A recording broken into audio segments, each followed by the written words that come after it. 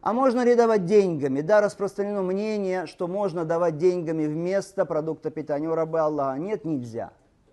Правильное мнение, что нельзя. Почему? Потому что это противоречит сунне пророка, алейхиссалату вассалам. Потому что это противоречит сунне сподвижников пророка, алейхиссалату вассалам. Во времена пророка, алейхиссалату вассалам, были деньги, да, были динары, были дирхамы. Во времена сподвижников, да, было много динаров и много дирхамов. Но они никогда не давали деньгами. Поэтому садакатуль фитр дается продуктом питания. Иначе это под угрозой человек, что от него не будет принято, ибо пророк алейсалату вассалам сказал, «Ман амиля амалян лейса алейхи амруна фахуа рад».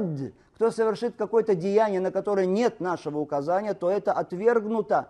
Абу Саид аль-Худри говорит, рады Аллаху талян, мы во времена пророка алейсалату вассалам выдавали садакатуль фитр в день фитра один са минтаам, еды.